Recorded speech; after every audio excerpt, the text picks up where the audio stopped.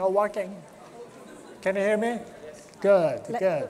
Well, thank you for joining this uh, the lunchtime session and join the conversation incorporating breakthrough cervical cancer data into practice, sponsored by Seagen and Genmab. Well, my name is Keiichi Fujiwara. I'm uh, the moderating this uh, the very interesting and important session. So I'm really honored to having the, the amazing faculties here. So would you like to introduce by yourselves? My pleasure. I'm Keta Lorusso. I'm a GYN oh. oncologist. Oh, I forgot to say the disclaimer. Sorry about this. So here you go. Yes. I'm Keta Lorusso. I'm a GYN oncologist working at Catholic University of Rome, Policlinico Gemelli. Anna? Hi. Hello, everyone. My name is Anna, as Keiichi said. I'm medical oncology by training. I'm running the gynecological cancer program at Vall d'Hebron Institute of Oncology in Barcelona, Spain. Leslie? Hi, everyone. I'm Leslie Randall. I'm a GYN oncologist in the United States. I live near Washington, D.C., and I also work with the GOG Foundation as a cervical cancer lead. Good to see everyone. Thank you. And Brian? Thank you very much. I'm Brian Slomovitz. I'm a gynecologic oncologist in Miami Beach, Florida. Um, and I'm honored to be here, so thanks for having me. I look forward to our discussion. Okay, good. So, so these are the disclosures for all the faculties here. So the, the order of our conversation will start from the uh, first line and uh, the well, frontline uh, treatment yeah. and the new data. And then go, goes to the, the second line, treatment changing, and then go to the um, case presentation by Brian. So shall we start? Oh, so, so the, this is the, the QR code that you can participate your, uh, yourself for the discussions. So I will remain showing this for a while. Okay? So let's uh, go to the uh, decoding the latest development in the locally advanced first line recurrent cervix cancer. So as you know, the, um, the first topic will be presented by Keta. And uh, as you know, uh, the chemoradiation has been a the long time standard chemotherapy, and now we are we have the two very important uh, the data presented this year. So Keta will present this. Then she will show, present another uh, the important first line therapy um, evidences. Okay, so Keta, Jill. Thank you so much. Yes, we are living an unprecedented moment in the treatment of cervical cancer, and in particular, uh, we are changing the standard of care in locally advanced disease, which was represented since uh, more than 25 years by the combination of uh, concurrent chemoradiation and brachytherapy. There were several data suggesting that when we combine immunotherapy to radiation treatment, we are able to enhance the efficacy of radiation. And we attempt to do it in CALA trial. Uh, Professor Monk uh, presented uh, this data last year at IGCS, combining durvalumab to concurrent chemoradiation in locally advanced high-risk cervical cancer and unfortunately, and really surprising for all the scientific community, the trial did not meet its primary endpoint. But at that time, we were already running the Keynote A18 using same population, higher risk patient, a different drug because pembrolizumab was the drug we use in Keynote A18. The population probably more risky because we enrolled stage 1B2, 2B node positive patient where the definition of node positive was at least 1.5 centimeter in the minimum diameter. of lymph node, and stage 3 and 4A, regardless lymph nodal status. We stratify for the type of radiotherapy. We are strongly convinced that in this kind of trial, if you do not have a good radiotherapy, you cannot be confident on what is the added benefit of what you are adding stage and the dose of radiotherapy was a stratification factor. This is a trial for high-risk patient. Basically, less than 5% of patients had uh, CPS score negative tumor, less than one. It's a global trial, 30% of patients coming from Asia and 50% uh, of patients, white patients, really a global trial. It enrolled in 176 centers in 30 countries. We put a lot of effort in that. And uh, really, high-risk patients, 56% of them stage 3 and 4A, but I want to underline that stage 1B, 2, 2B, according to 2014 classification, actually are stage 3C. So I'm not confident in saying that stage 1B, 2, 2B are less risky. These are the patients with positive lymph nodes. 85% of our patients had positive lymph nodes, 60% in pelvis, 30% also in the para-aortic area. We provide a good quality of radiotherapy. Up to 90% of patients receive what is considered the standard radiotherapy, IMRT or VMAT, and the dose was for more than 90% of patients, more than 70. And the trial has two primary endpoints. We presented the final results for PFS and the interim analysis results for overall survival. PFS is positive and clinically relevant with a 30% reduction in the risk of progression in patients treated with Pembro. The follow-up is 18 months right now. Overall survival is not yet mature, less than 43% of events, and not significant at this first interim analysis, but a trend toward an increase in overall survival was reported with an hazard ratio of 0.73, which is really supportive of PFS results. Keta, if I may. Sure. So I, think it's very important, you know, in order, sorry for my voice, I miss it in the, in the aircraft. Um, I think it's very important, you know, to, to, to transmit to the audience that longer follow-up is crucial when you want to analyze data with immunotherapy. And currently, the median mm-hmm. follow-up that we have for the keynote A18 it could, I mean, it could be defined as short. So with the tendency that we have already seen, we are very, I mean, we are very positive and we expect that this trend, this positive trend, will be really manifest with the longer follow-up. We, we, are confident also on the typical shape uh, of immunotherapy curves is what we see here. When they start separating, they increase the separation over time and I'm confident this is why this is the final PFS. We will re-not allocate alpha in another PFS analysis, but we will have descriptive results to capture the benefit, the long-term benefit. And also we are waiting for the overall survival events exactly. for the final overall survival analysis. Yeah. Also because uh, all the subgroup, we pre-specified several subgroup these are descriptive analyses, but there is a consistent benefit basically in all the group. And I want to comment stage 1B2 2B. The observation is less than one, thus suggesting anyway a benefit. Probably we can discuss the magnitude of benefit. But again, these are descriptive analyses, and actually we have only 25% of event in stage 1B, 2, 2B. So I'm confident that with the larger maturity, as you suggest, Anna, this as a ratio may change. We will see in the second analysis. Can I interrupt there? Sure. Because I think that's really important. And the reason is, you know, I, am from the US, and in the US, the FDA has acted on forest plots. they acted on a forest plot for Paola.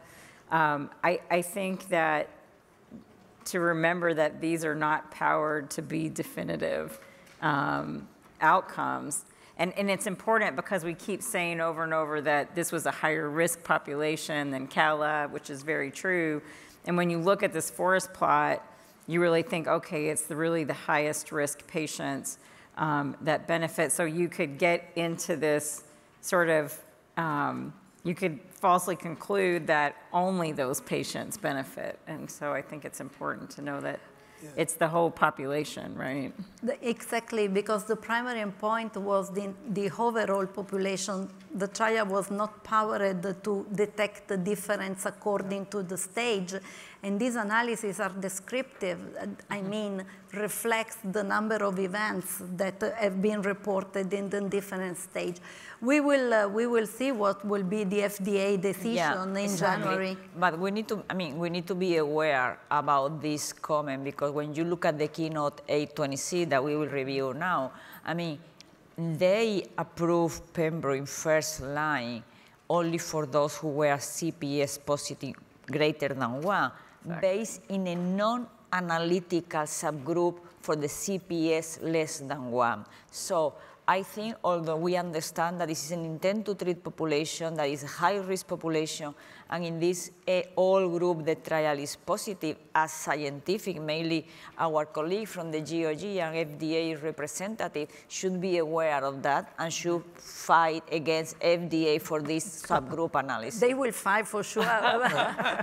but, you know, there is also another possibility. Look at what happened with the Ruby trial, for instance, an immediate approval for the population in which there is a huge benefit and waiting for overall survival data for the other. I'm curious uh, to see what will be FDA, but also EMA indication. So you're hinting towards this, but in the high-risk population, or what are other reasons why this is positive and CALA is negative?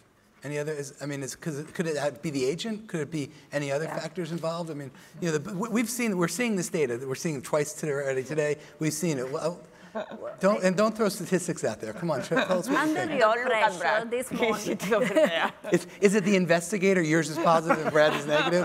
I think it's the I will not take this bad question.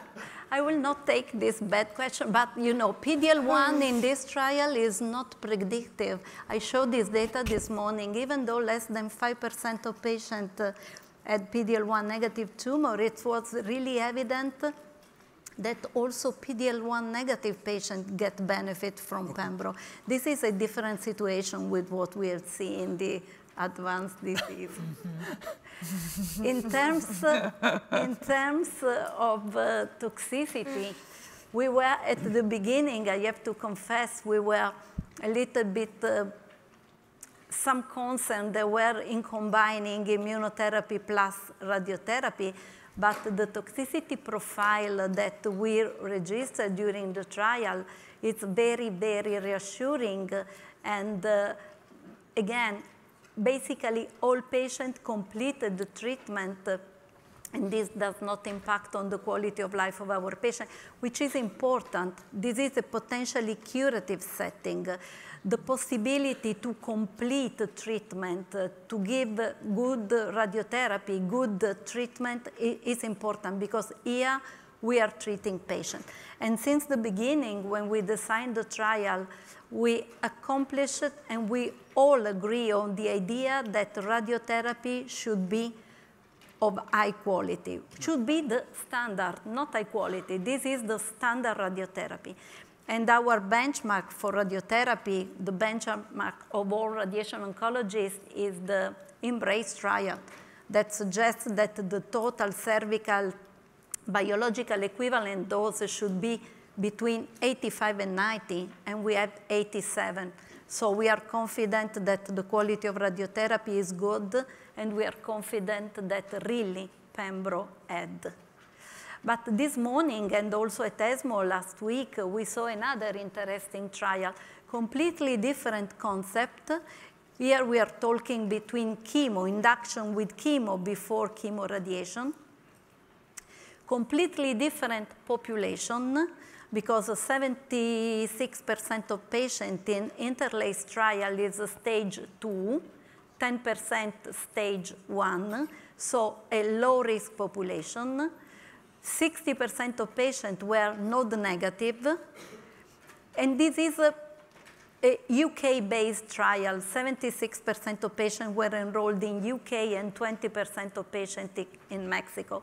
My, mm, it was a, pity this morning I had not the opportunity to speak with Mary about uh, radiotherapy because Interlace have the great merit to have a 10-year trial, so longer follow-up. As Anna reported, the, the follow-up is important. But in 10 years, the technique and quality so of radiotherapy changed a lot. A lot. And, and unfortunately, IMRT, which is actually considered the standard, was uptake by only 40% of patients. And volumetric brachytherapy, which is the standard, was received only by 30% of patients. So the results are extremely interesting and always better to have two positive trial in a setting in which since 25 years we did not get any advantage for our patient. But uh, we need more information. We will ask, we will have the possibility to speak. Can you go back? Can we just? I have a yeah. question. Yeah. Again. Uh, you, you, told me before not to ask you questions on interlace, but I will anyway. This is um, supposed um, to be conversational, by the yeah, way. Yeah, we're supposed to That's have fun. why we're interrupting each other. So the difference between interlace and some of these other trials is, um, and we heard this when we left the room in Madrid, we were hearing the buzz, people could go home and do it on Monday. Exactly. Right, so we're not waiting for FDA approval, we're not waiting for anything. Exactly. So what I'm interested to hear actually from the, most of the panel here, give me a reason why you would and a reason why you wouldn't. Or is there no reason? Cause you know, when we talked about this earlier, Kevin, like there's reasons. Well, you know, it takes four weeks to get a patient to radiation. Give them chemotherapy. You're not doing any harm. No. But let's talk about this a little bit because it's important. We would because I, it's available, right? It's available but, today. Yeah. But I think, I mean, and it's, I mean, it's a little frustrating that it was kind of there on the shelf all this time, and for 20 years we haven't made um, progress in this space, and it was sitting there all along. But I, I think that the quality of radiation has changed so much over time, and I, to me, this control arm doesn't perform, and I haven't, you know, analyzed it in any analytical way, but it just seems like the control arm underperforms what I would expect in a lower risk population. So I'd really like to see um, more detail on this data. I would love to see if there's a, a time-based analysis, if what you say, like you're so right about the techniques of the radiation. I mean, they haven't changed a little. They've changed like a revolutionary in, in revolutionary ways with the uh, advanced imaging guidance. So I think it would be nice to see a time-based analysis to see if this gap closes over time, maybe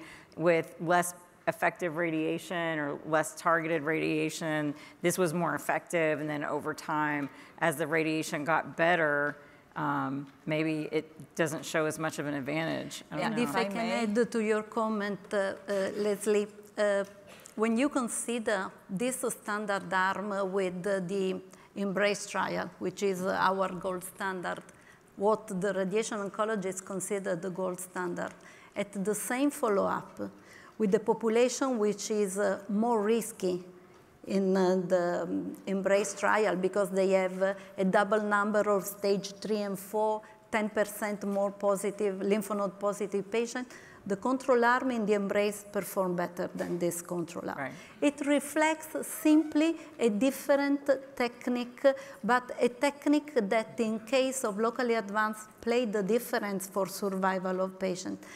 Uh, in this moment, uh, the data that Mary showed, 10%, only 68% of patients in the experimental arm completed the five cycle of chemotherapy in combination with chemoradiation, which is the standard. Let, let, let me ask, because I'm real, this is what a lot of us are still thinking about. Let me ask a simple question. Keiichi, Monday morning, will you go home and use this regimen on one of your patients? Kiki, yes or no? Pay attention well, to your answer. that's a good question. I, I'm not in the position to defend this trial, but I think uh, it's a randomized trial. It took for 10 years that's fine. But uh, the, uh, at the time, the, the, the standard technique of the radiation has been changing.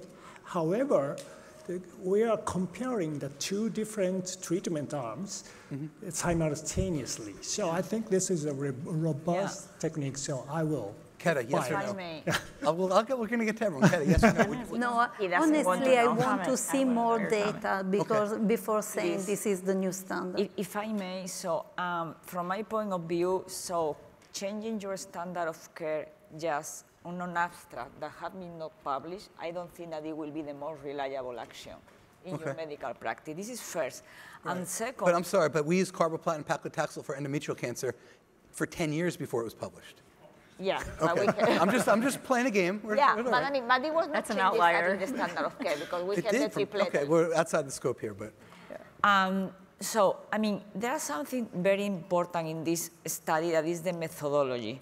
When you look at the eh, statistical analysis plan, they say that they have a hierarchical analysis. PFS, if PFS is positive, then they analyze overall survival. And this is an open label trial with a hierarchical analysis.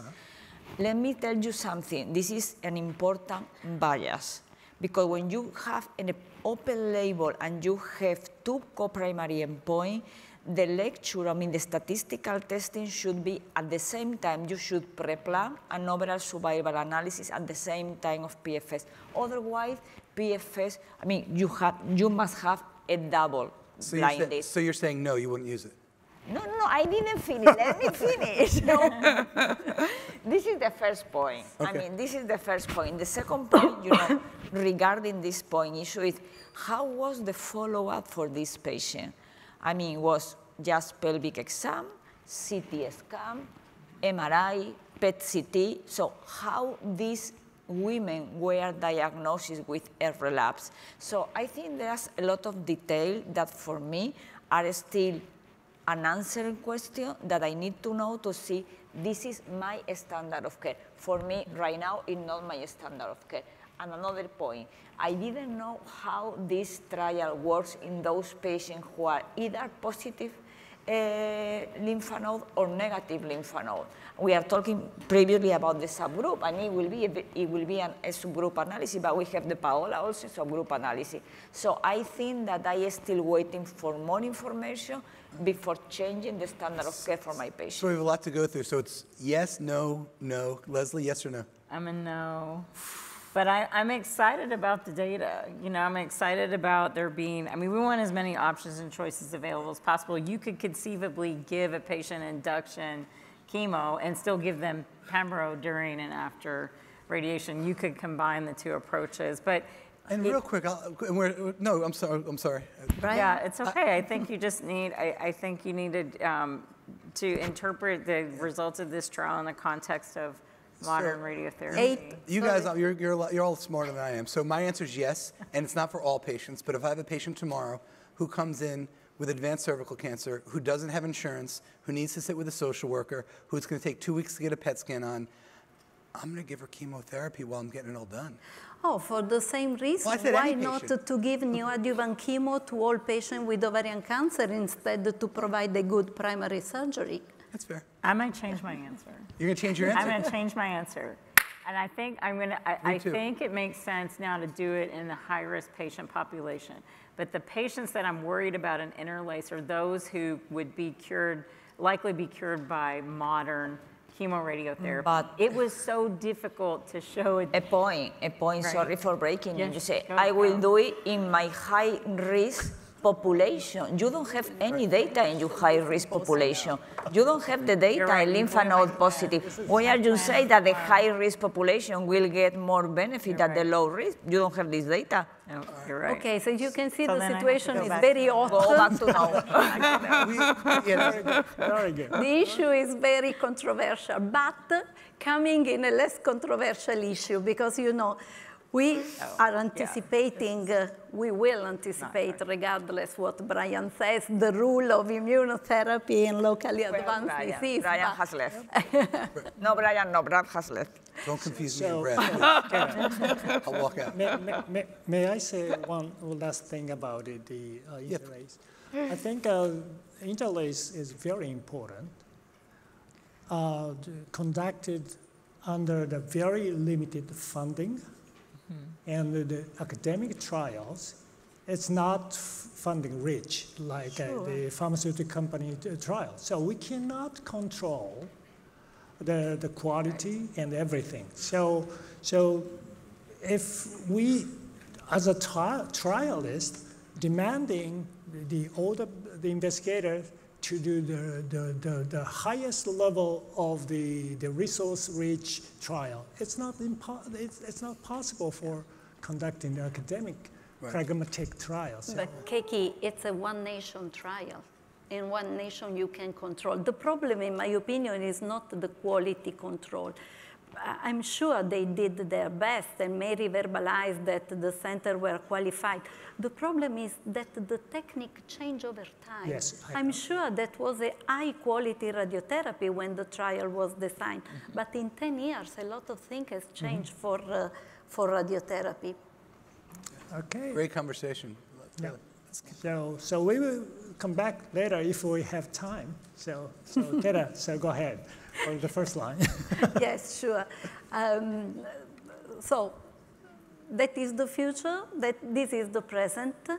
And uh, Keynote 826 uh, reported the, benefit of pembrolizumab in the first-line setting of advanced or recurrent disease. Um, the trial, you remember, was a randomized trial combining pembro with carboplatin or cisplatin paclitaxel in advanced setting. And here we have some difference from country to country because the trial met both the primary endpoint.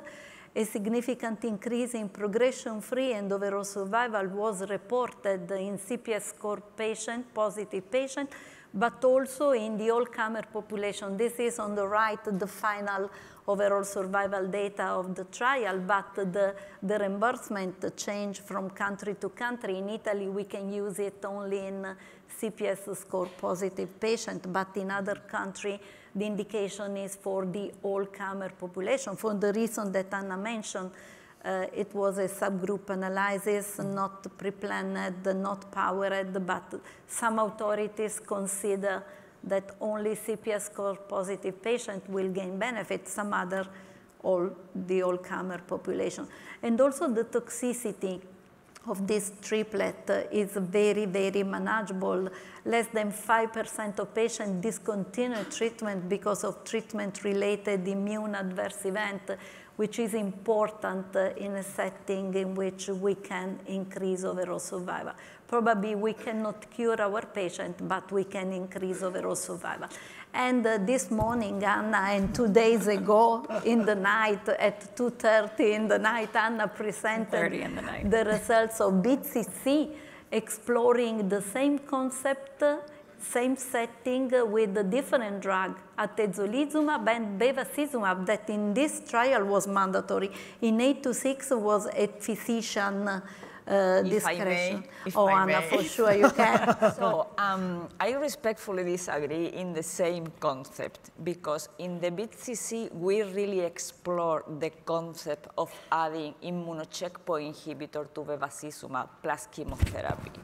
In the keynote 826, bevacizumab was optional. Yes. And the analysis of bevacizumab was exploratory. So I mean, the concept of adding IO to bevacizumab was really explored in the BEATcc trial. Sure, sure, sure. I, I say the same context. I mean, the first line setting. No, it's better. No, it's better. no, no, no. The difference about BEV is important, and also because we saw at ESGO the subgroup analysis according to BEV, and BEV play a definitive role in the treatment of cervical cancer. And Anna reported this morning also the results, both positive primary endpoint, PFS, and overall survival, and several secondary endpoint, all supportive of the combination of immuno plus bevacizumab plus chemotherapy in this setting, and also, Anna, with a very good toxicity profile. Yeah, I mean, indeed, we didn't have and didn't see, sorry, any increase in relevant toxicity between the two arms. And the most important point is that the rate of discontinuation was exactly the same in the atezolizumab arm compared with the standard of care, 50% 50% of the population, the same rate of grade 3 or greater adverse events and adverse events of special interest in both are for bevacizumab. So I think the safety profile was quite good, very well tolerated. So a new standard. So uh, may I ask you, uh, Anna, about the BEATcc? Oh, So- sure. So um, that same discussion was made at the time of the Paola one was uh, presented. So do we need it bevacizumab? Do we really need bevacizumab? So what is the role of bevacizumab in combination with atezolizumab?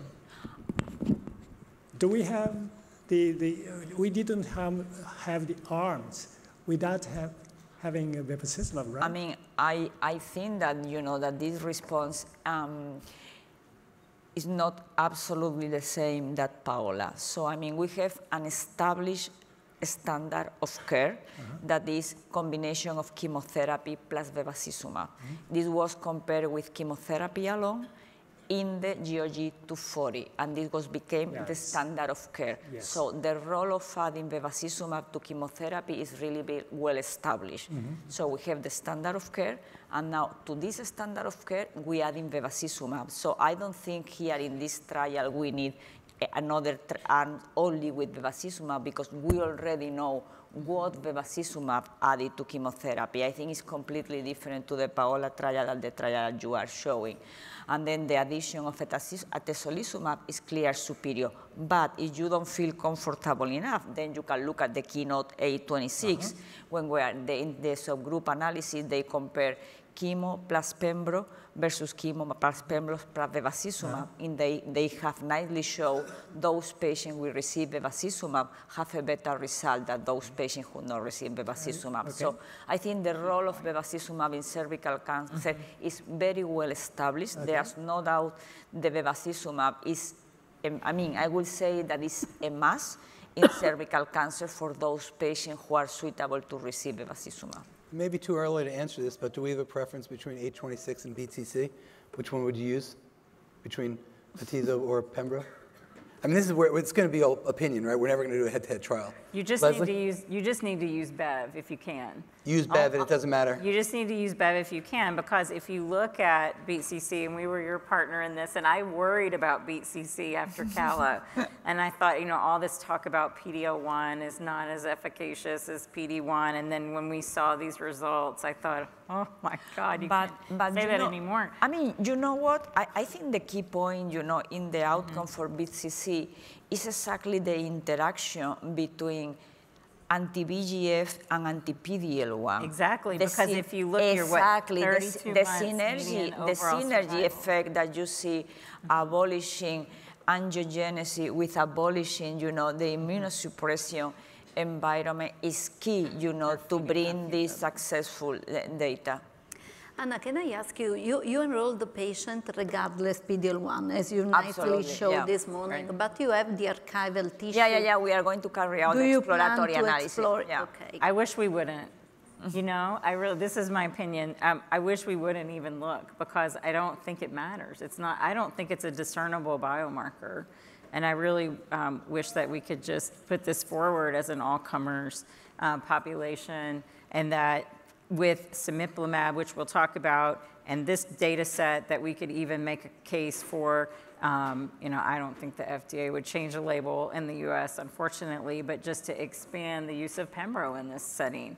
Um, but I think this really underscored to me the importance of bevacizumab because here you've got, what, a 32 month median overall survival, and the 24 month in the keynote 826 was hugely impressive. And numerically, you would think that this is more, but like you said, if you pull out that Bev treated population in keynote 826, they're very similar. Yeah, but you know, I, I just want to state that this is an interim overall survival. We are still waiting for the final overall survival, and the data that we are talking about, the keynote 826, is subgroup analysis with the final overall survival with a longer follow-up. When you look at the confidence interval for, for follow-up in the BCCs, 30 to 34 months. And when you look at the confidence interval for follow-up in the keynote 826, it's 34, 45 months.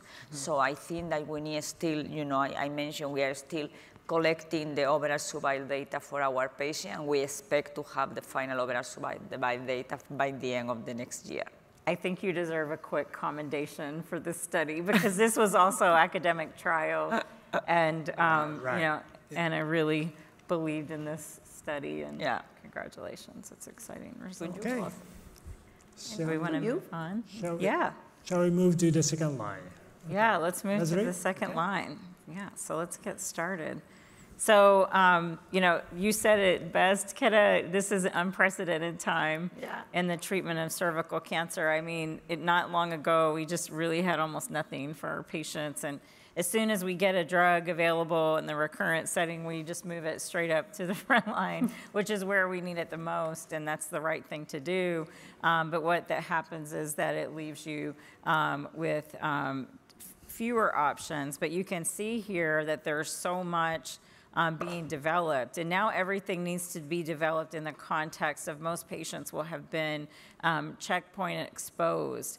Um, so we need to start thinking about our therapies in the terms of, okay, what is a rational for a patient who's already had immunotherapy? Um, what will they be likely to respond to? And so, having set you up terribly um, to talk about Empower, you, you have passed. now it's your turn.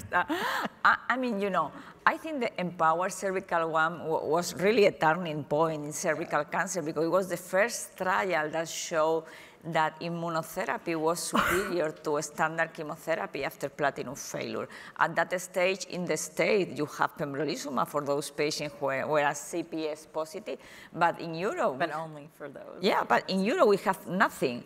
Right. And then, um, although we have this kind of hint that it seemed that it was superior to chemotherapy, we haven't tested formally.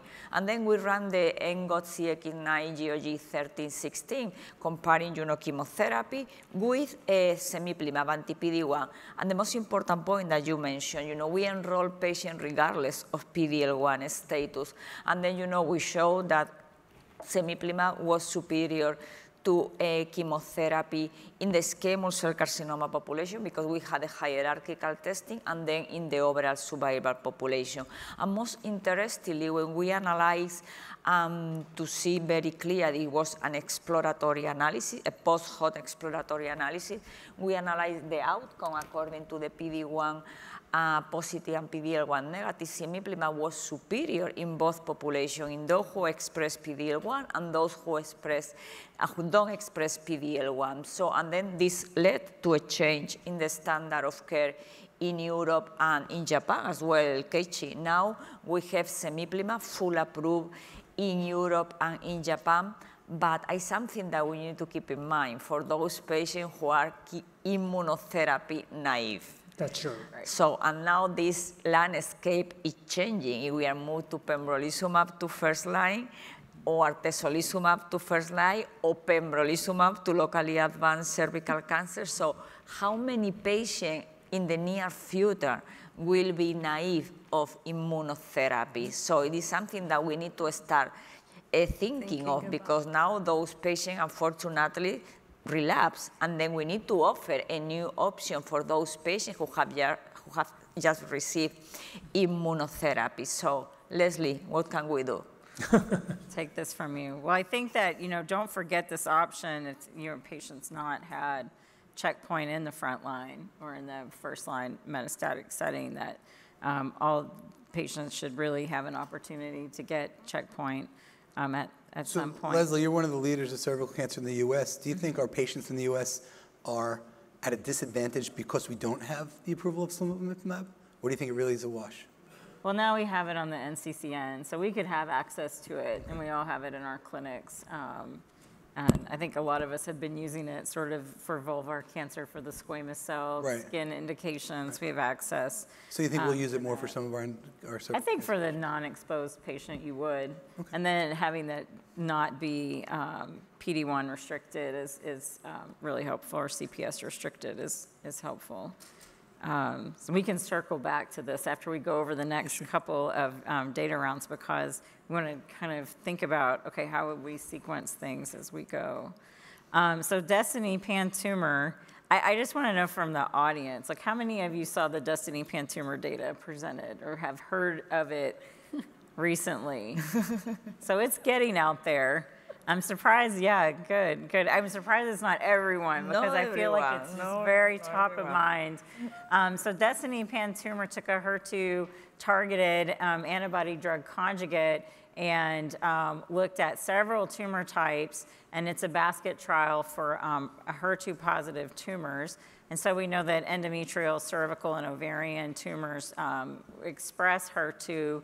And for cervical cancer, um, we don't think it's that. I think it's more, it's probably, uh, in the study, it was um, around 5%. I think that as we test more, we'll see a higher uh, percentage of HER2. And we know that it is uh, more common in the adenocarcinomas who um, are more high risk, which is If I may, just a comment. Yes, please do. Yeah, um, because maybe the slide, could- the slide could be a little bit confusing. So Mm-hmm. um, in the Destiny Pan Tumor 02, we enroll patients only who have overexpression, no mutation, no amplification, only Mm-hmm. very important overexpression, uh, 2 plus or 3 plus locally. And another important point that we are working on that is that um, in contrast the breast and gastric cancer that we have clear guideline to determine overexpression of HER2, in gynae tumor we are not yet on that pathway. And now in the Destiny Pan tumor we determine overexpression of HER2 according to the gastric guideline. And only those who were 2 plus and 3 plus were eligible. Another thing is amplification and mutation.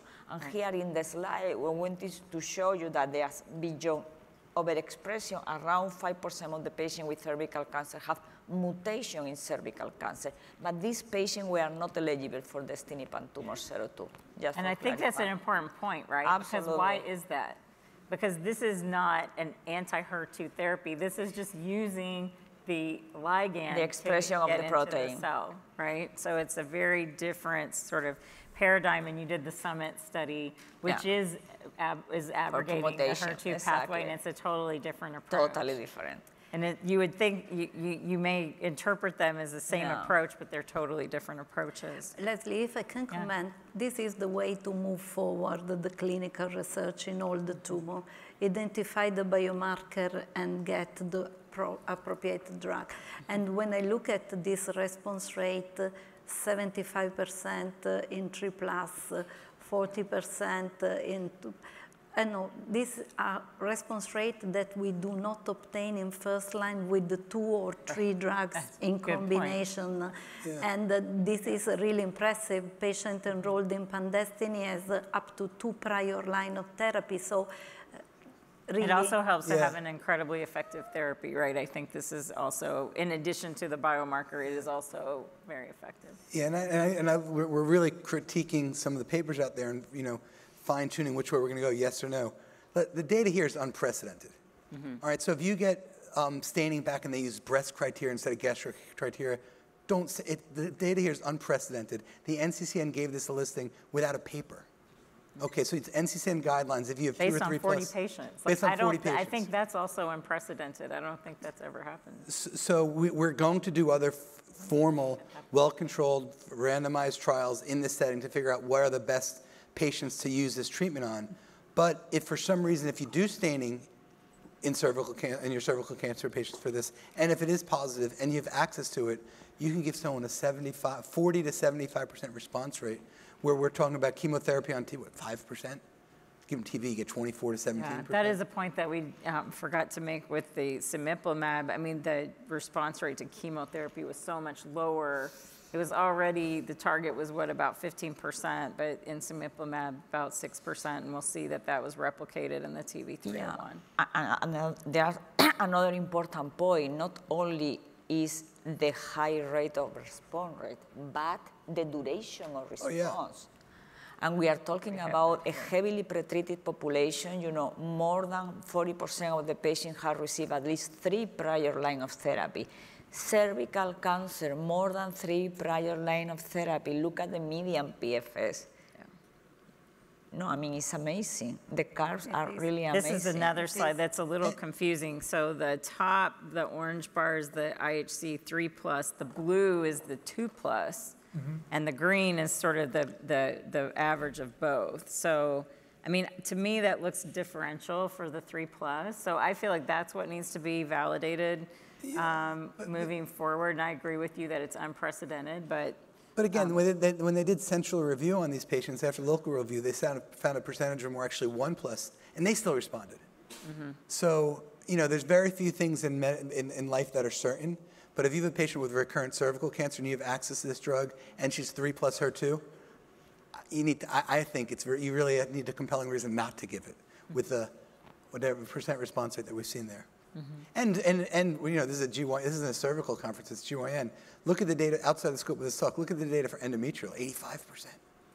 Ovarian's even high too. It's not on NCCN yet, but we'll see.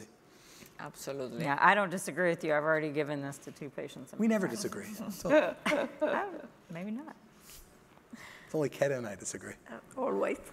So um, the, the drug is very well tolerated, and you know I I have less experience. I'm just starting to get experience with, but I'm you know my medical oncologist has a lot of experience using this with breast, and like, oh, it's fine. They do, you know, it's really well tolerated, kind of in a, from an experiential perspective.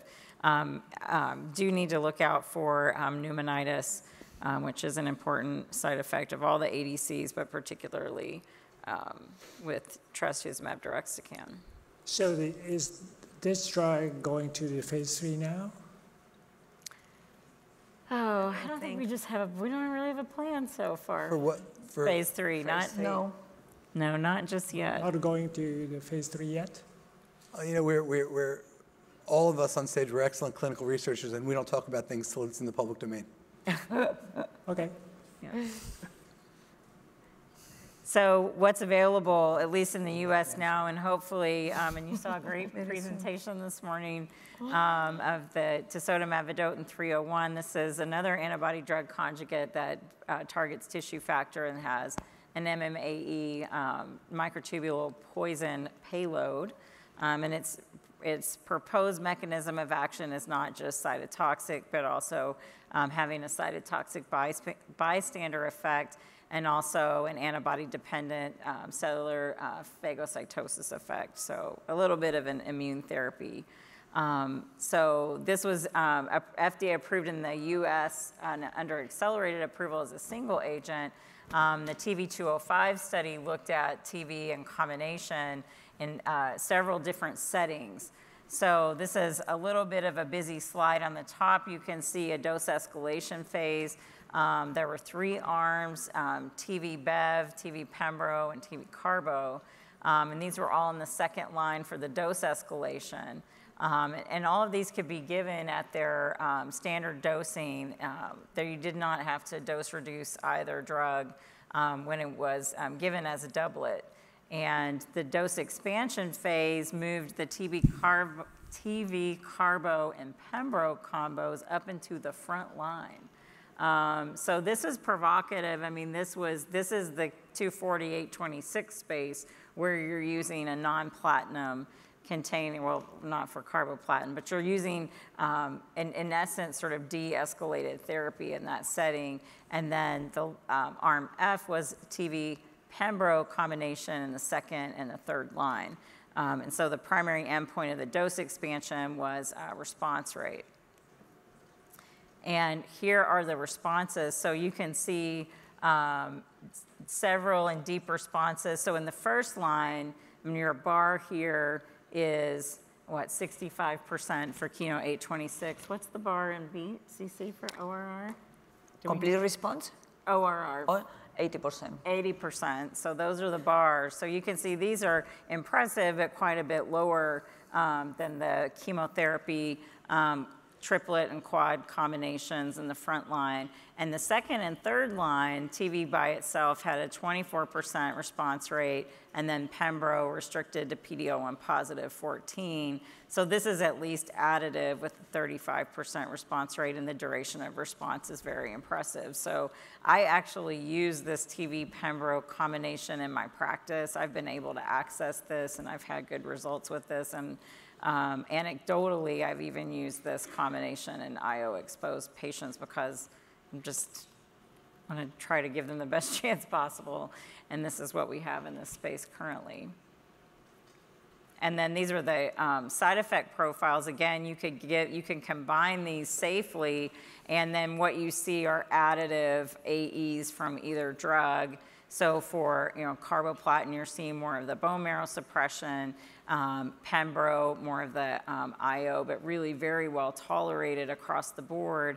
And then with tisotumab, you're seeing the ocular toxicity, um, the bleeding side effects, and then the uh, peripheral neuropathy. So Professor Vergote at ESMO and now Brian at uh, IGCS did a great job today presenting um, the TV301 data. Um, so this is the confirmatory trial for tisotumab as a single agent in the second and third line. Um, this is designed very, very similar to Empower. These patients were uh, really the same population. They were randomized to tisotumab vedotin versus physician's choice chemotherapy, and really the same agents um, here. And the breakdown of the number of prior regimens, as you can see here, 60, about a little about about 60% had had one prior uh, regimen, and 37%, um, 40% had had two prior lines of therapy. So this is a pretty pre-treated population. Uh, most patients had received prior bevacizumab, 65%. And interestingly, and this is the, I think this trial has the most information that we have currently on IO exposed patients because about 30, almost 30% of the patients had had prior um, checkpoint inhibitor.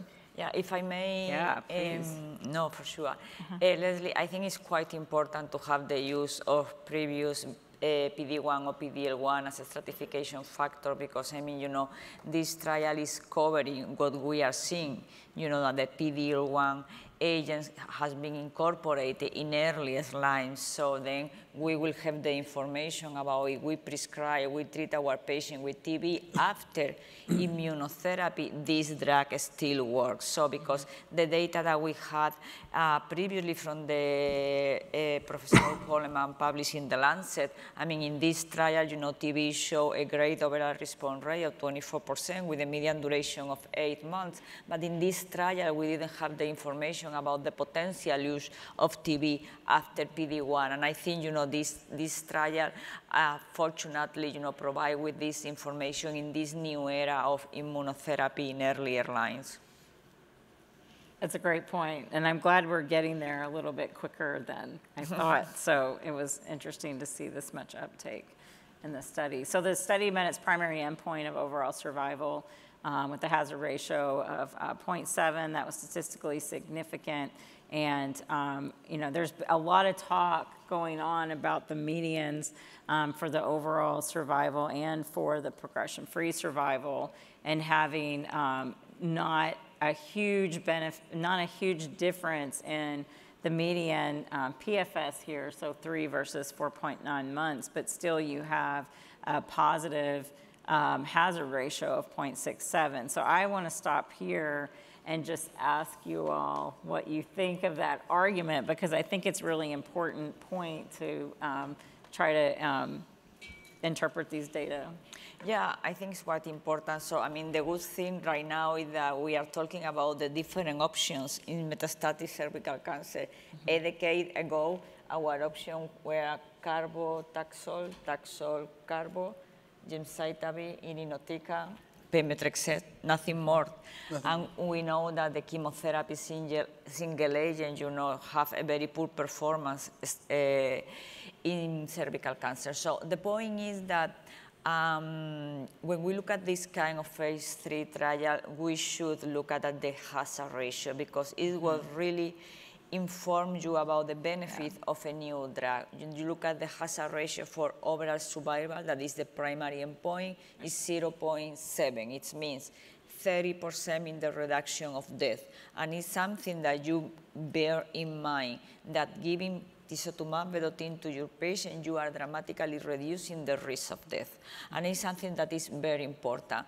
And PFS is important, but, but honestly, in the second, third line of therapy in metastatic cervical cancer, the most important thing is to prolong overall survival. Mm-hmm. Because I mean, most of these patients have received only, only no, already two prior line of therapy, third line of therapy, so we don't know how many line they will be able to receive. So for me, the bottom line is that tisotumab vedotin after first line of therapy plus minus a PD-L1 reduce the risk of death for our patient with cervical mm-hmm. cancer. If I can add a comment, uh, two comments. If I look at what chemotherapy gives in this patient, 5% overall response rate, mm-hmm. zero complete response, two months PFS, it's evident that we need better treatment for advanced disease. And given that immunotherapy will be moved earlier and earlier in the algorithm, new drugs are welcome for cervical cancer patients. The second consideration is that now we have drugs in cervical cancer that increase overall survival in later line. Right. We have bevacizumab, we have pembro, uh, atezo, tisotumab vedotin, we are moving in a very similar situation to ovarian cancer, mm -hmm. in which in the adjuvant setting, uh, we demonstrate quite easy that we are able to increase PFS, but with more difficulty in demonstrated an increase in overall survival. Probably when we think about the clinical research, future clinical research in cervical cancer, we have to consider also this aspect. Yeah, no, I agree completely. I mean, so we need better lines. It's an unmet need in the second and third line setting. Um, you know, the, the, chemotherapy doesn't work in this setting. And it's actually, you know, when we look at AD, it's the delivery of the chemo because we have a, a, site of kill in the ADC, so it's getting the chemo into the cells that's what we need to do. Um, it's, it's data here that shows it. You know, I think uh, you presented a little bit earlier some of the earlier combinations, and maybe that'll push Pembro, I'm sorry, TV into earlier line setting. But for now, off protocol in the second or third line setting. You know, and now, you know, we're going to see, if we see the, the, the into the front with the radiation, the A18 data, you know, this, it's, it's, a wide open unmet need that this will fit nicely into. But, but, I'm curious because now we are talking about the phase three. You in the in the state has already the approval based on the phase two. But I would like to know from the audience how many of you have already used tisotumab vedotin in your daily practice? You use TV? One, two, three, four, six, six. You are not. You're counting on one hand. Less than 10. Two hands. Less than 10. Well, you know, so raise your hand if you haven't used it, but it's available. So it's available, but you haven't used it. So if it's available, you're using it. Yeah. Okay. Because so that gives a better. Less idea. than 10 physicians have already used tisotumab vedotin in the daily in practice. This room, but yeah. In, in this room, I mean, in this room, yeah. I mean, it's, it's a room full of specialists in gynecological yeah. tumors. So I think there's a lot of, uh, I mean, work ahead of us, you know, in terms to, to, to show this data and to see how tisotumab vedotin may improve overall survival of our patients. And another important aspect, Leslie, that you will be on all the panel, in agreement with me is to show uh, how the potential side effect can be mm-hmm. managed. Yeah, let's talk about that. Right. So in the, the key subgroups, um, all patients benefited. There's some interesting data here on prior BEV versus no prior BEV. I think a no prior BEV treated population is a higher risk, a sicker population is, um, because of why you're withholding the BEV. And think about why you've got pelvic disease, radiated yeah. field. I mean, I think those are the more difficult patients to treat. There is no rationale uh, to explain it. To explain, mm. and also the the phase two gave a completely different message. This true. is the weakness of the subgroup analysis right? according to forest plot, but because there is no rationale. That, that may be the most important point is that they were they were um, exactly in contradiction to each other. So this this forest plot is not even though the FDA uses as a, a basis for approval, it is not a valid, it's hypothesis generating. So here's the treatment-related adverse events, to your point, and um, I think you know this is a learning curve. Um, some, many of us have some experience now with mirvetuximab, a drug with ocular toxicity. Um, This drug has a different ocular toxicity than mirvetuximab. It's mostly surface toxicity with keratitis and conjunctivitis, uh, but definitely can be mitigated. Um, And you can see the full side effect profile here of tisotumab versus chemotherapy, where chemotherapy has more of the uh, bone marrow suppression um, related, and then the um, tisotumab with the AEs of special interest for that drug. Um, So we mentioned the ocular toxicity. I think, you know, someone with experience of the drug, with the drug, um, I spend more time managing the the neuropathy from the drug than I do the ocular toxicity. Um, So as long as you are using the mitigation strategies, um, I think that the ocular toxicity is very manageable. Anyone have comments here? Yep, that's, a- that's a very important point. So, so the- Yeah, I- think for me the, the, the- bottom line and the take-home message, because I mean sometimes you know ocular events um, are a little bit scary for people who are not aware of that. I think you know that there are wonderful educational programs, you know, to know how can you implement this mitigation measure and how you prevent your patient from developing this kind of eye toxicity. But uh, on top of that, although the patient may develop this kind of eye toxicity, at the end of the day, the rate of discontinuation, I mean, it's only 5.6%.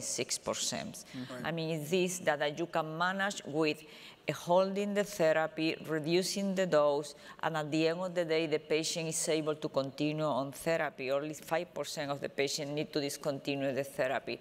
When you look at the rate of discontinuation, the PARP inhibitor is between 11% and 50%, so I think it's lower than we mm-hmm. see in the daily practice. But I think this is very important, you know, to teach the, the, the doctor who have never used this drug, mainly in this kind of mitigation measures. Yeah, So- so, I, oh, no, I, Oh, me? Professor. Okay, thank you. So, so when we did this trial in Japan, we mandated to, uh, to, to refer those patients on the trial who are randomized to the uh, TV to refer to the eye doctor, right. ophthalmologist. Is that the- the way that the, the daily practice pattern in the United States? uh, So, right, so, so, um, so on protocol, on the proto, uh, the, the, the previous accelerated approval in this protocol, it required to have an eye exam prior and to have an aggressive ocular mitigation strategy with corticosteroid drops, with, with cold packs over the eyes, and with adequate irrigation. Um, and, it, and when the accelerated approval came through, it came with a warning that they needed an ophthalmologic exam prior to each cycle. That wasn't really studied that way, but that's what they had. And now in this trial, in 301, what we did is we um, gave uh, a day before we started with the eye drops, a day before, and it's pro- you know, we're we're not sure if it actually did anything. And we also only required the um, eye exam prior. Um, we'll see moving forward if that's changed, if we're able to, to, to go away from that. So in my practice, um, you know, there, there's a black box warning. So in my practice, I tell my patients what the recommendations are. I tell, I, I work with my ophthalmologist. We have a form that um, we send to the, op, the eye doctor because they want to know, what do you want to know? I said, just fill out the form, it's fine. Um, and it makes it really easy. Um, sometimes, you know, I, I'm, I'm compliant. Sometimes a patient will say to me, do I really need to go? I said, well, it's recommended, but your eyes are doing fine. Ultimately, it's up to you. I'm not going to take the, if something happens, I'm not going to take the, the hit on it. But, you know, I, I think it's recommended. I think sometimes with the resources are limited to get into an eye doctor is tough. But to give the uh, patients the opportunity to get a drug, we, we have to embrace that. But it doesn't require a high-level ocular specialist, right? An optometrist, and I don't know how that is divvied up in other countries, but an optometrist can do a slit lamp surface exam and a visual acuity. I mean, it's really simple. It's like um, GYN oncologist doing um, very simple benign GYN work. Like you don't necessarily need an ophthalmologist unless the patients are having um, issues. And as you can see, most of the ocular toxicity is low grade um, and, and, and manageable. So often just with a dose hold, they get better and they don't really even, it's sure. recommended they see an ophthalmologist, but they could As uh, for all new class of agent in clinical practice, we have to perform a learning curve in the management of side effect. We, we are you able to use immunotherapy? At the beginning, we were scared. We will start using also tisotumab. I want to point out the peripheral neuropathy. This is uh, uh, ocular effect are not a problem in my experience. With the mitigation strategies uh, mm, are not a problem. But uh, probably we need to pay attention to peripheral neuropathy. In most part of cases, it's a sensitive neuropathy, which is typical of the payload. Sometimes maybe a motorial neuropathy. This is an aspect you have to be proactive in asking your patient uh, if they experience particular fatigue, weakness in the arm. So this is an aspect that should be uh, evaluated. That's a great Yeah. point, because I expected the taxol neuropathy, right? Yeah. That is not Yeah, the get. point is that you, you have an ADC and then you don't think about it, a, neuro, a ne- neurotoxicity because it's like you associating neurotoxicity to chemotherapy, but indeed every single ADC have a payload that is cytotoxic agent. So I think it's very important because if you identify early, I mean, you stop the drug, I mean, you put the drug on hold, and then you resume in the lower level, I mean, you can absolutely prevent from developing a grade 3 toxicity. So, but at the end of the day, as every new agent is, is a matter of education, it's a matter of training. Um, but I mean, the bottom line will be don't be scared of using a new drug because at the end of the day, you know, you can learn how to manage of the potential side effect. Yeah. You can be scared, just don't do it. Just still do it and learn, right? Absolutely, absolutely. Great. Great. All right.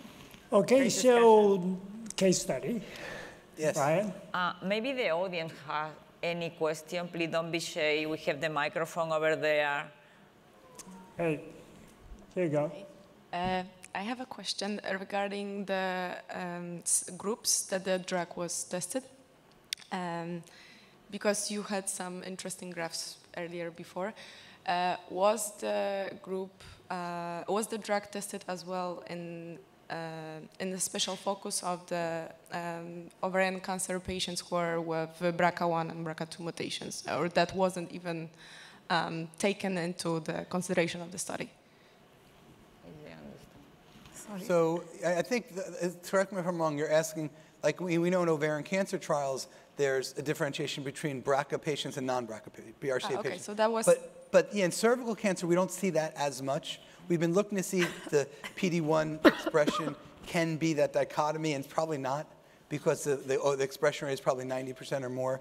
Um, And then other factors that we've been looking at really haven't panned out. So it's really all comers with cervical cancer, except for that small group of PD-1s that we're seeing. Does that answer your question? Yes, thank you. Great. Thank Yes, ma'am. Maureen? I'm Dr. Morin from Nigeria. We just finished from our GCICCCRN uh, session where we talk about clinical trials. I noticed that most of your presentation, your clinical trial sites were usually Europe, Mexico, and you never mentioned any African site.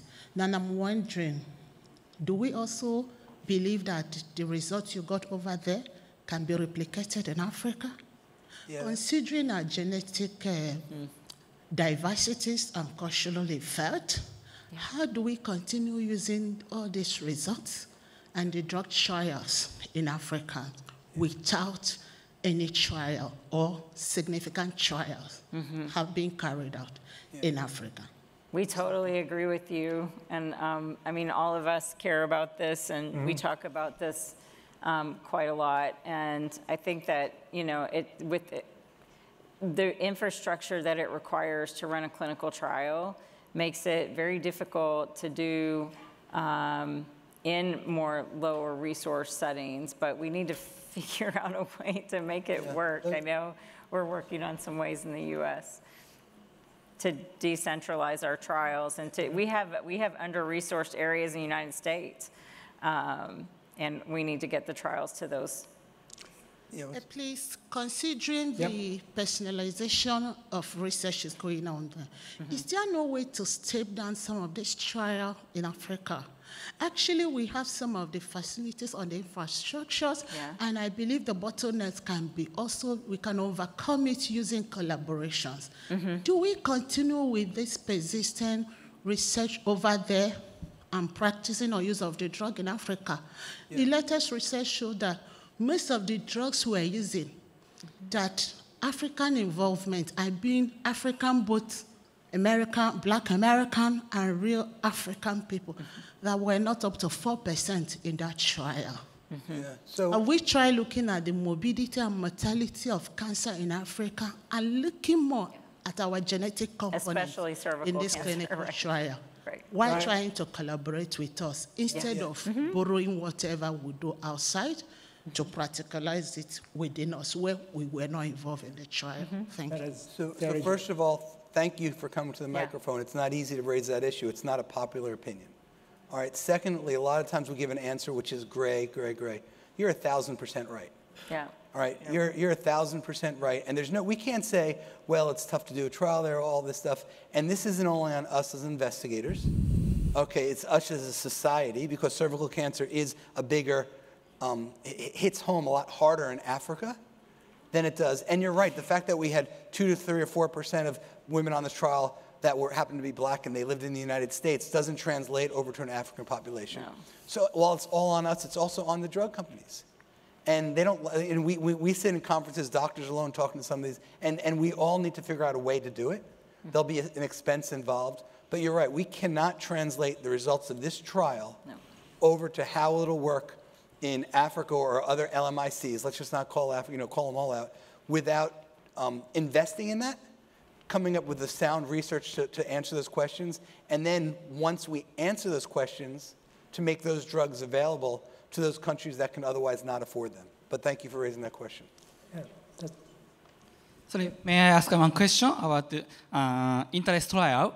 Um, after uh, introducing chemotherapy, tumor volume, mi- tumor volume might be decreasing. So, radio- radiology oncologists have to uh, decide um, treatment plan. So, it, that, that plan should be uh, based on pre, be, before chemotherapy CT or after chemotherapy CT.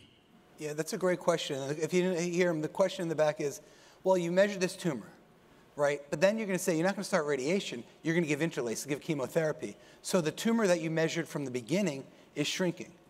You know, and this is another question about using the resources that you have available. There's a lot of radiation oncology units in the U.S. that every week they change their radiation field, and they're getting real-time MRI imaging to change that. So a lot of it is depends. Um, it's based on the resources we have available. Some areas that are treating more cervical cancers don't have those resources, but we need to do the best that we can in partnering and teaming with our radiation oncologists to follow the, the, the hopefully the shrinkage of the tumor and to then give the optimal dose for effective radiation while limiting the toxicity. yeah, Thank you. okay. Can I add a comment on this, Brian? But in general of the session, we are here celebrating uh, Pembro, Interlace, uh, uh, Keynote 826, BEATcc, tisotumab. I just want to remember that this is a preventable disease. This is a tumor for which we have a sign, primary prevention, secondary prevention with screening. To be honest, I think that the effort of the global community for this tumor in particular should Yeah. be put on the prevention. Yeah. And uh, if we invest in prevention with vaccine, with the HPV test, with PAP test, probably the amount of disease will reduce over time, and all this drug will be available for lesser and lesser patients. Yeah, no, I- we, I think we're, we agree completely. I mean, the best way in globally, not only in those countries, to the best way to cure cervical cancer is to prevent cervical cancer. The best way to do that is by global, um, you know, use of uh, of HPV vaccines. We know that'll decrease cancer. So yes, but I think the point is there are going to be some, even in all communities, we're going to get patients that get cervical cancer. We need to figure out the best treatments for them. And we've been through this with originally with the HIV treatments and things like that. We have to go after globally in order to get solutions, not just in the areas that can afford the medicines. Okay, so uh, we only have Let's- the 30 minutes left. How much So, 13. Third? 13 minutes left, so I think uh, 13. it's Brian. And again, audience, uh, we welcome you to for your participation by uh, the, during this session, and please feel free to join on our topic by using Yeah, I think the good news is the, we're, uh, we're supposed to foster a lot of response system. communication. Thank you for that, and we- we've had a lot of communication. So we have a couple of cases. We're going to actually ask for some of your feedback. When the questions come up, there's going to be a little one of those QRS codes. If you hit that, it'll come right onto your web how to answer it on your phone. Um, Case number one, 42-year-old female, six weeks of vaginal bleeding, pelvic pain, and dysuria. Went to her gynecologist, finding a six centimeter mass, then referred to a gynecologic oncologist. The biopsy showed a squamous cell carcinoma in the cervix. Testing was done, and this had a CPS score of less than one. Less than one. Patient was treated at this point with chemosensitizing radiotherapy with cisplatin, and she responded well. Eight months after completion of the radiotherapy, she presented the clinic with a cough, and further workup revealed multiple pul- pulmonary nodules consistent with metastatic disease on CT scan of the chest. Here's your QRS code. Give you a second to turn your phones on. Um, the question here is what would be the appropriate treatment for this patient?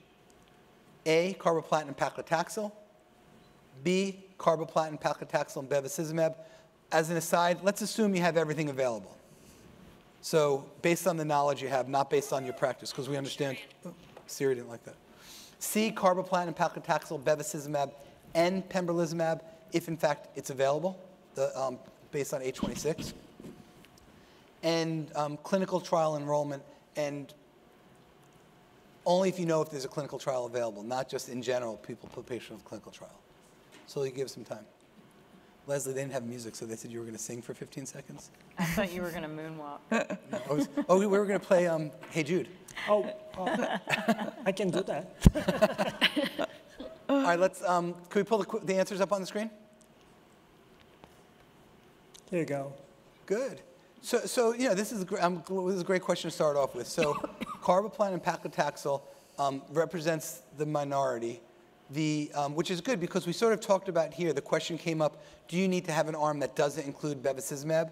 Based on the work of Tewari and Monk, we found in GOG 240 that those patients did better with bevacizumab. So, um, unless Bev was contraindicated, I would probably stay away from A. Um, now, I want to remind everyone, we said CPS score of less than one. Right, so CPS score is less than one. In the US, you can't get pembrolizumab with a negative um, CPS score. In Europe, neither. In Europe, not, uh, neither. Neither. So, In Japan, yes. Ah, in Japan, You can use in Japan, yes. Yeah? So um, the people aren't changing their answers. So, so based on so next was carboplatin, paclitaxel, and bevacizumab. That would be the standard of care, GOG 240. Um, carboplatin, paclitaxel, bev, and pembro. Right now it's winning, but there's probably a lot of people in the audience from Japan, so they're favoring that vote. I'm just kidding. and then clinical from trial enrollment is five. Um, so um, my comment is, I, I would here I would give carboplatin, paclitaxel, bevacizumab. We're short of time. Anyone disagree? Any questions from the audience on that? I'm hoping I'm saying it clearly, but I know sometimes I don't say things very clearly. Do you know why we're leaning towards the regimen without checkpoint inhibition? So as the indication stands now, we can only get that if it's available. So let, again, we have less than 10 minutes left, so let's move forward. Okay. Um, the patient does well on the triplet regimen. Five months after completion, the patient has abdominal discomfort. CT scan of the abdomen pelvis reveals liver metastases. In an ideal world, which, which of these would be an optimal treatment regimen if all of them were approved and available in your country in the future?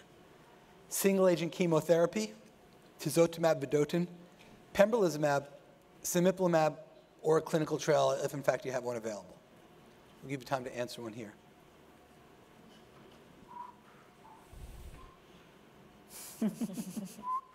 difficult, difficult question. All right, now remember here, I'll, I'll give you guys a hint. There's probably two right answers here, and we sort of talked about this a little bit. Where there's, al- there's always a right answer, but two answers that'll be most um, chosen here. So let's, let's pull up the slide. And even while we have it, keep going on. Wow. So good. I like single agent chemotherapy as a reminder for my talk today. Five percent response rate. Five percent, and comparing that to today's data at 301, 17.6 percent response. Comparing it to the accelerated approval, 24 percent. So chemotherapy is not the right answer. Um, there's a lot of folks from Seagen and Genmab with their phones on, so they're choosing TV, which is the right answer. uh, one of the right answers, based on the data, and we don't have to go through it again. But um, prior to giving it, they all got an eye exam, and they, per FDA warning, they got an eye exam before each cycle. Now, pembrolizumab, um, there's a role here, and if it's available, I don't, th- I don't think it's wrong to give pembro in this setting if it's available. Remember, CPS less than one. But we were talking about earlier how cemiplimab does have an approval, um, an NCCN listing, and that's um, biomarker agnostic. So the two ways, at least in the U.S. and I think in Europe as well, in order to treat this patient would be either with TV or cemiplimab, Or the combination. or the combination. But then we're getting let's. One at a I time. know. The combination is far I away know. in Europe. no, I mean, I, I think it's a great discussion. So, you know, in front of a patient who is immunotherapy naive, um, the patient doesn't apply in the state for pembrolizumab because he's CPS negative, but apply in Europe for uh, cemiplimab. How do you make the decision between tisotumab vedotin and cemiplimab? Yeah, that's a great question. Um, I, I think our, our, the drugs we have in the closet, our armamentarium for cervical cancer is limited. I would feel more comfortable if, if, if I'm gonna, I'll just say it this way, lose a patient to cervical cancer, I'd rather her have gotten a checkpoint at some point in her treatment plan. So mm-hmm. I would probably err in this situation to start in cemiplimab, hopefully to get something, and then knowing that I have TV in reserve. And it doesn't appear to Brian, I agree with you. But at the end, I agree with you at Finally, the end of this. we agree. No, also because if you look You at been the, working very hard to get it. keynote 158 data and also the cemiplimab, mm-hmm. The number of prior line of therapy play a role in the efficacy. So probably in a immune naive patient, my first choice would be immunotherapy. Also because you have a less exhausted immune system and then move to TV soon after. And if, if you didn't hear Leslie, she said both, but that'll be the topic of next year's ISS. Yeah. anyway, I want to add a little bit more controversy. Um, last year, we published um, sub-analysis of the efficacy of cemiplimab uh, according to the location of the metastasis. Those patients with liver met, it doesn't seem to get more benefit from cemiplimab compared with chemotherapy. So I think that we need to have all the information in the puzzle uh, before making the, the decision. So I don't think that in this patient with liver mets progressing after six months of platinum, I don't know if I would treat her with TISO instead of semi. We a question from the audience. Yeah, hi. Uh, thank you for this uh, case. Actually, it's very interesting. Uh, I'm facing the same case actually, like maybe two months ago. Uh, but like I, in the first treatment, uh, she gets take chemo, Bev, and immunotherapy, uh, Pembro, and she recurrence again. And unfortunately, TV is not available. So, uh, will you challenge again with Pembro, or you just go for single chemo or clinical trials? This is one of the uh, dilemma that I'm facing sometime. Yeah, that's Yeah. a good question. That's, that's a good question. Yeah. Yeah. Um, I, if I'm going to re-challenge, I'd re- probably re-challenge with bevacizumab with the chemotherapy. Um, take it before? I- I'm, I'm more comfortable with giving, you know, th- and I can't give you the answer. I'm more comfortable giving bev after bev than IO after Okay. IO. It's I go Africa. with trials. You mentioned you have trial option. No, I don't have. He doesn't You try. don't have It's, trial that- it's either option. Pembro or single agents. Yeah. Then I agree with Brian if you don't have a trial option. Um, that was a good question. Any other questions? Oh, sorry. Um, we have three minutes left, so we're going to quickly go through case number two. 33-year-old female, um, lack of a pap smear for 15 years. She presents her GYN with pelvic pain and bleeding with intercourse, three centimeter cervical mass. Biopsy showed adenosquamous carcinoma of the cervix. She, in fact, had a CPS score of greater than one. MRI shows lymphadenopathy. PET scan reveals um, disease to spread to the lymph nodes, nowhere else. Based on our observation, we've sort of, we're, gonna, we're not going to, we've already gone through this a little bit, but we want to hear what the audience thinks. Based on your observation, our discussion of interlace, would you consider administering interlace regimen to this patient if it becomes available and receives approval? Yes or no? Just a more moment, I dis- have to vote. No more discussion. Turn her phone on. Don't No, close. Keta is ready to make Yeah. the pick. Yes, interlace or no? Not. And we're not. gonna- We're going to move on. We're not going to discuss. We're just going to see what the answer is. Okay. All right. wow, Keta. Oh. Oh my God. So, Keiichi, we, we convinced them in a different way than. uh, I thought that uh, this patient has a extra pelvic disease, right? No? Lymph nodes, Oh, uh, not okay. extra pelvic disease, just Oh, okay, lymph nodes. okay, got it. 35. We convinced them. Yes. Keta, did you, were you one of the 36 or were you one of the? I was in the 37 for sure. I was in the 5%. That's good. It's interesting though, right? Because we, we, we really talked, dove into the statistics, the limitations, the strengths, and everything. It's interesting, and we're blessed that we have an audience here representing, you know, folks that are academic and also a lot of folks that are in the trenches. And whether we like it or not, whether we agree or not, this is what we're going to see happening. And we're going to have to be able to treat patients who are who recurred after receiving this, whether we like it or not. Brian, again, uh, always better to have more option for a patient that w- ne- no option as uh, until uh, two months ago. Uh, I think that we need really more information about the interlace before considering the new standard. There are se- several agree points, but I, I agree, it's a, it's a pragmatic way to move forward, but sometimes the best treatment for our patient is not pragmatic. Otherwise, we do, again, neoadjuvant chemo to all ovarian cancer patients. That is pragmatic, but it's not the best we have. Right. I agree. So we've um, almost a little over a minute left. Let me finish these up and then we'll give Keiichi a chance to say the final word to Okay. thank everyone. V- really quickly here, she recurs. I don't think there's any controversy here. CPS greater than one, if available, offering the quadruplet therapy. We would agree on that. Um, let's just move forward to the next text. We can go past this question, guys. And finally, now this isn't as controversial as the other one. If she recurs after receiving a checkpoint, on the first case, we talked about cemiplimab versus TV. Now that she's already gotten a checkpoint, um, anyone should, would anyone not choose B here? We have consensus at the end. Ken and I agree at the end. I want to thank everyone, and then Keiichi, thanks for having me here. And, Okay, do, do you want to see the result? then? oh, we can see the result. Oh, that's No? all. Okay, okay. We know the answer is. The answer. Yes. Yeah, we know the answer. So, well, thank you so much. Uh, So this uh, concludes the- this symposium, and uh, thank you for all the panelists and uh, the audience here and the the virtual. And Actually, um, this session will be available as a part of the IGCS On Demand program following this meeting. And I really appreciate the Seagen people and the GOG partners for, uh, well, scheduling this very, very important and interesting wall. session. Thank you so much. Distinguished Thank you. professors.